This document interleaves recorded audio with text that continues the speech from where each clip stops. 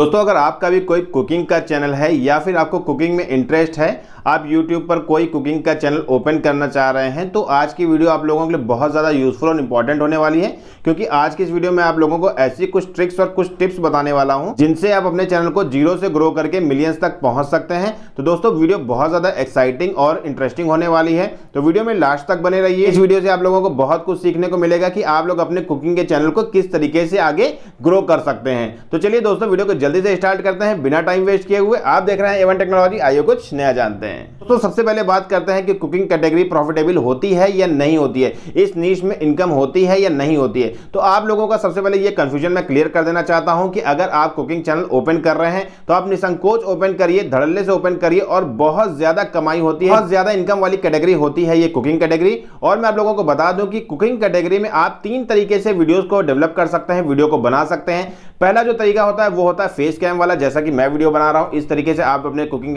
Category में video बना सकते हैं। आप किसी को अपना चेहरा वगैरह दिखा करके उसमें खाना बनाना किसी को भी सिखा सकते हैं। दूसरी जो कैटेगरी होती है, वो होती है कि वॉइस ओवर दे करके, जिसमें आप अपना चेहरा नहीं दिखाते हैं, खाली आपकी आवाज़ होती है और एडिटिंग होती है और आप उसमें जो दिखाते हैं कि आप भाई छोला भटूरा बना रहे हैं केक बना रहे हैं मफिन बना रहे हैं बिस्किट बना रहे हैं या जो भी चीज़ें बना रहे हैं, आप बनाते बनाते हुए दिखाते हैं और पीछे से अपनी आवाज़ दे देते हैं। और जो तीसरा तरीका होता है, वो ये होता है कि आप बिना फेस और बिना वॉइस के भी इस चैनल को आगे ग्रो कर सकते हैं, इसको आगे बढ़ा सकते हैं और चला सकते हैं। और ये चैनल आपका बिना फेस और बिना वॉइस के होने के बावजूद भी पूरी तरीके से मोनेटाइज हो जाएगा। क्यों? क्योंकि इसमें जो कंटेंट होता है, वो आपका खुद का कंटेंट होता है। दोस्तों, अब बात करते हैं टिप्स की, कि कैसे आप अपने कुकिंग चैनल को ग्रो कर सकते हैं। तो जो पहली टिप है, वो ये कहती है कि आपका जो अगर कुकिंग का चैनल है तो आपको सबसे पहले एडिटिंग पर ध्यान देना है। एडिटिंग आपकी बहुत ही ज़्यादा क्रिस्टल क्लियर होनी चाहिए शार्प होनी चाहिए, बहुत ही ज़्यादा साफ़ सुथरी एकदम रौनक से भरी हुई होनी चाहिए। अब वो कैसे आएगी? उसमें बहुत ज़्यादा कुछ खर्चा करने की आपको आवश्यकता नहीं है। आपको सिर्फ़ लाइट इफेक्ट्स देने की ज़रूरत है।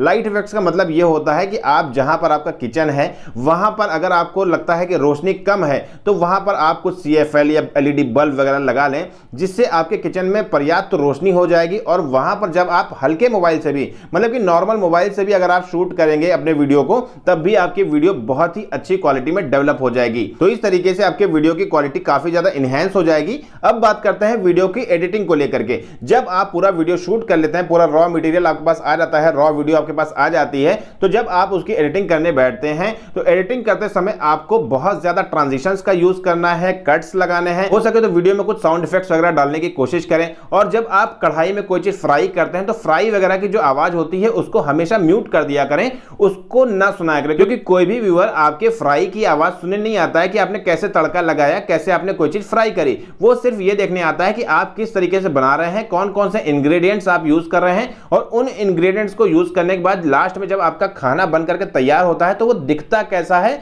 वो देखने में कैसा लग रहा है और उसके अंदर कैसा स्वाद है, वगैरह वगैरह चीज़ें। अब बात करते हैं थर्ड टिप की। तो दोस्तों, मैं आपको बता दूँ कि अगर आप यूट्यूब पर काम कर रहे हैं तो आपको अपने चैनल का होम पेज पूरी तरीके से कस्टमाइज करके रखना है। बहुत ही बढ़िया उसमें चैनल आर्ट लगाना है चैनल बैनर लगाना है। बहुत ही अच्छे तरीके से आपको वहाँ पर चैनल कीवर्ड्स वगैरह लगाने हैं, उससे आपके चैनल की रैंकिंग हाई होती है, उस पर व्यूज़ वगैरह इनहेंस होते हैं, बढ़ते हैं और उसकी ग्रोथ होती रहती है day by day day by day. ठीक है? उसके बाद आपको एक प्लेलिस्ट भी तैयार करनी है। मतलब कि अगर आप मिक्स कंटेंट डालते हैं, जैसे वेज का भी खाना आप दिखाते हो कभी कभी अपने चैनल पर और नॉनवेज भी आप अपलोड करते हो बेकरी आइटम्स भी आप अपलोड करते हो कि कैसे बनाया जाता है तो उनकी सारी प्लेलिस्ट आपको अलग अलग तरीके से तैयार करके रखनी है। वेज का अलग रखिए नॉनवेज का अलग रखिए बेकरी का अलग रखिए। इससे क्या होता है कि कोई भी व्यूअर अगर आपकी वीडियो को देखता है, उसको आपकी कोई वीडियो पसंद आती है तो वो आपके प्लेलिस्ट के अंदर जा करके आपकी उस वाली कैटेगरी में सारी वीडियोस को वॉच करने का प्रयास करता है और वॉच करता भी है। इससे आपका वॉच टाइम भी काफ़ी ज़्यादा इनहेंस होता है। अब ये सारी चीज़ें तो हो गई, आपका होम पेज वगैरह सब कुछ कस्टमाइज हो गया। अब आपको अपना अबाउट सेक्शन जो कि चैनल का अबाउट सेक्शन होता है, उसको भी काफ़ी ज़्यादा इंप्रेसिव लिखना है। बहुत ही अच्छे ढंग से, बहुत ही अच्छे तरीके से, सलीके से लिखना है, ताकि कोई भी व्यूअर अगर आपके अबाउट सेक्शन को देखे तो वो बहुत ही ज़्यादा इंप्रेस हो जाए। पहली बार में ही, प्रथम दृष्टिया ही उसके ऊपर बहुत ही अच्छी छाप पड़ जाए इंप्रेशन पड़े आपका, और वो आपके चैनल को सब्सक्राइब किए बिना रह ना पाए। दूसरी बात अब मैं बताता हूँ आपको ये सारी चीज़ें जब आप यहाँ पर कंप्लीट कर लेते हैं और वीडियो अपलोड करते हैं तो वीडियो अपलोड करते समय आपको टाइटल्स टैग्स और डिस्क्रिप्शन इन तीनों चीज़ों का भरपूर ध्यान रखना है। जल्दबाजी में आपको कभी भी वीडियो अपलोड नहीं करनी है। अगर आप ये सोचते हैं कि without title without tag without description मैं वीडियो अपलोड कर दूँ और वीडियो मेरी रैंक कर जाए बूस्टअप हो जाए तो ये आपकी सबसे बड़ी भूल है। इस बात को आप समझ करके चलिए कि यूट्यूब एक सॉफ्टवेयर है और ये सर्च इंजन ऑप्टिमाइजेशन पर ही चलता है। इसलिए आपको एस e तो करना ही करना पड़ेगा। आपको अपने टाइटल में दो तीन तरीके के कीवर्ड्स डालने हैं। हिंदी में भी आप लिख सकते हो हो इंग्लिश में भी आप लिख सकते हो लॉन्ग टेल कीवर्ड्स भी आप डाल सकते हो शॉर्ट टेल कीवर्ड्स भी डाल सकते हो। लॉन्ग टेल कीवर्ड्स को ज़्यादा सर्च किए जाते हैं, इसलिए लॉन्ग टेल कीवर्ड्स को ज़्यादा आप रखें। जैसे मान लीजिए कि आपने छोला भटूरा बनाना सिखाया, या फिर केक बनाना सिखाया, या फिर मफिन्स बनाना सिखाया तो उसमें आप लिख सकते हैं कि मफिन्स बनाना सीखें। In oven. छोला भटूरा बनाना सीखें सिर्फ़ पाँच मिनट में। तो इस तरीके के कुछ कीवर्ड्स अगर आप अपने टाइटल में डालते हैं तो आपकी वीडियो रैंक होने की और बूस्ट होने की चांसेस बढ़ जाती है। अब बात कुछ लोग ये कहेंगे कि भाई पाँच मिनट में छोला भटूरा कहाँ बनता है? पाँच मिनट में छोला भटूरा बनता नहीं है, ये सबको पता है। लेकिन पाँच मिनट में छोला भटूरा बनाना सीखा तो जा सकता है ना कि उसमें कौन से इंग्रेडिएंट्स पड़ने हैं, कैसे, किस फ्लेम पर आपको काम करना है, आग कितनी होनी चाहिए, आँच कितनी होनी चाहिए, सब कुछ सीखा तो जा सकता है ना। इसीलिए इस टाइप के कीवर्ड्स काफ़ी तेज़ी से रैंक कर जाते हैं तो आपको अपने टाइटल में इस टाइप के कीवर्ड्स डालने हैं।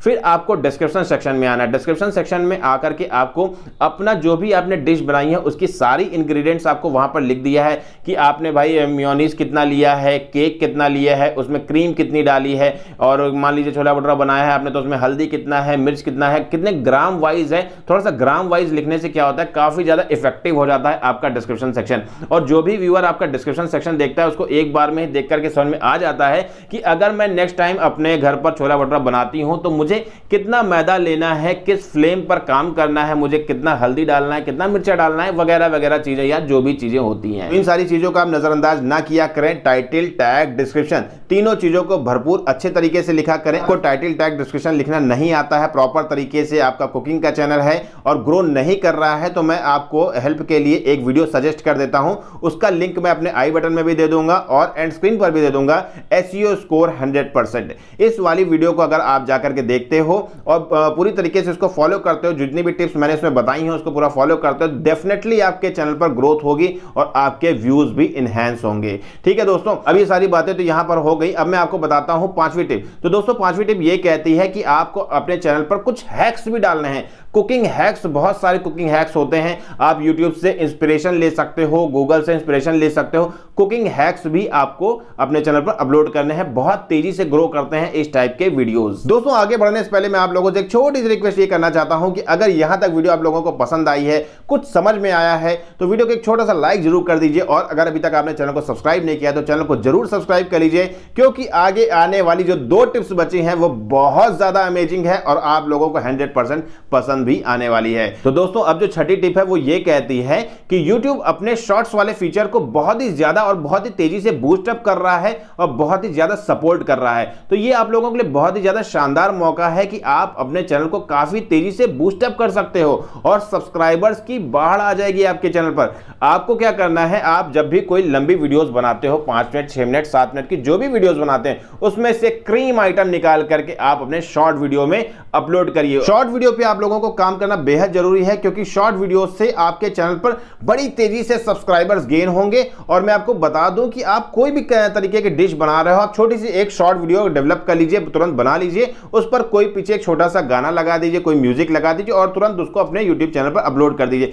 काफ़ी तेज़ी से बूस्टअप हो जाएगा आपका चैनल और बहुत तेज़ी से उस पर सब्सक्राइबर्स वगैरह गेन हो जाएँगे। और जो आपकी लंबी वीडियोस हैं, छह मिनट सात मिनट पाँच मिनट की जो वीडियोस आपने बना करके अपने चैनल पर अपलोड करी है, उनसे आपका वॉच टाइम कंप्लीट होता रहेगा। और ये जो शॉर्ट वीडियोस हैं, इससे आपका सब्सक्राइबर्स कंप्लीट होते रहेंगे। तो बात करते हैं last but not the least अपनी सातवीं टिप की, जो कि बहुत ही ज़्यादा इंपॉर्टेंट है और इस वीडियो की जान है बैकबोन है। जी हाँ सातवीं टिप ये कहती है कि आप जब भी कोई डिश बनाए, कोई भी वीडियो अपलोड करने जाए कुकिंग चैनल पर, आपका थंबनेल थंबनेल बहुत ही ज़्यादा कैची होना चाहिए, बहुत ही ज़्यादा अट्रैक्टिव और इंप्रेसिव होना चाहिए। इसके साथ साथ मैं आप लोगों को एक बोनस टिप ये भी देना चाहता हूँ कि अगर आपका चैनल नया है, आपका चैनल बूस्टअप नहीं हो रहा है, आपके चैनल पर व्यूज़ नहीं आ रहे हैं, आप इन सारे प्रोसेस को फॉलो कर रहे हैं तो आपको क्या करना चाहिए? आपको अपने थमनेल्स पर थोड़ा सा क्लिक ज़रूर करना चाहिए। आप किसी भी स्पोर्ट्समैन पॉलिटिशियंस एक्टर्स या एक्ट्रेस की फ़ोटो लगा करके उसमें लिख सकते हैं। जैसे मान लीजिए कि आपने अक्षय कुमार की फ़ोटो लगा दी, उसमें लिख दिया, कह रहे, वाह, ऐसा छोला भटूरा तो मैंने आज तक कभी खाया ही नहीं।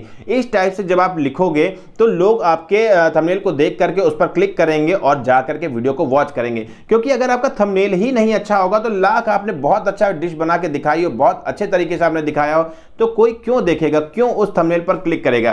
तो आपके वीडियो तक पहुँचने के लिए सबसे पहले जो दरवाज़ा होता है, वो होता है थंबनेल तो थंबनेल पर क्लिक बेट ज़रूर करें। और जो लोग ये सोचते हैं कि थंबनेल पर क्लिक बेट नहीं करना चाहिए, इससे ब्रांड वैल्यू गिर जाती है, ये हो जाता है, वो हो जाता है तो ऐसा कुछ नहीं है। दोस्तों, मैं आपको बता दूँ कि आपने हमेशा देखा होगा कि कभी भी किसी गन्ने की जूस की दुकान पर जाइए या फिर ऐसी जूस की किसी भी दुकान पर जाइए तो वहाँ पर सलमान खान की फ़ोटो लगी रहती है, अक्षय कुमार की फ़ोटो लगी रहती है, कटरीना कैफ और करीना कपूर की भी फ़ोटो लगी रहती है जूस पीते हुए। तो क्या वो लोग आकर के उनकी दुकान पर जूस पी करके गए? ऐसा कुछ नहीं होता है। सिर्फ़ इसलिए किया जाता है ताकि उनके दुकान की शोभा बढ़े और लोग उससे अट्रैक्ट होकर के उनकी दुकान पर जूस पीने आए। तो यही काम आपको भी करना है, आपको भी हल्का सा क्लिक करना है और वहाँ पर अच्छे अच्छे एक्टर्स की एक्ट्रेसेस की फ़ोटो लगा करके या पॉलिटिशियंस की फ़ोटो लगा करके या स्पोर्ट्समैन की फ़ोटो लगा करके अपने थंबनेल को बहुत ही ज़्यादा आई कैची और अट्रैक्टिव बनाना है। इन सभी चीज़ों के साथ साथ आपको यह भी ध्यान रखना है कि जब आपके चैनल पर एक हज़ार सब्सक्राइबर्स और चार हज़ार घंटे कंप्लीट हो जाते हैं और आप अपने चैनल को मोनेटाइजेशन पर भेजने के लिए एकदम रेडी हो जाते हैं तो आपको ये सारे थंबनेल्स चेंज कर देने हैं और अपने ओरिजिनल वाले थंबनेल्स लगा लेने हैं, ठीक है? जिससे आपको मोनेटाइजेशन में भी कोई दिक्कत या कोई समस्या नहीं आने वाली है। दोस्तों, मैं वीडियो को यहीं पर एंड करना चाहूँगा। आज के लिए बस इतना ही। उम्मीद करता हूँ कि वीडियो आप लोगों को पसंद आई होगी। इस वीडियो से आप लोगों को बहुत सारी और बहुत अच्छी अच्छी जानकारी मिल गई होगी। तो अगर वीडियो आप लोगों को पसंद आई तो वीडियो को लाइक ज़रूर कर दीजिए शेयर ज़रूर कर दीजिए, नीचे कमेंट बॉक्स में कमेंट्स ऑफ़ व्यूज़ ज़रूर ड्रॉप कर दीजिए। और अगर अभी तक आपने चैनल को सब्सक्राइब नहीं किया तो भैया अब किस बात की देरी है? चैनल को जल्दी से सब्सक्राइब कर लीजिए, नीचे दिए बेल आइकन को प्रेस करके उसको ऑल पर क्लिक कर लीजिए, ताकि मेरी लेटेस्ट और आने वाली सभी वीडियोस की नोटिफिकेशन सबसे पहले आप तक पहुँच सके। तो दोस्तों, मिलते हैं फिर नेक्स्ट वीडियो में नेक्स्ट टॉपिक साथ। तब तक bye take care love you all thank you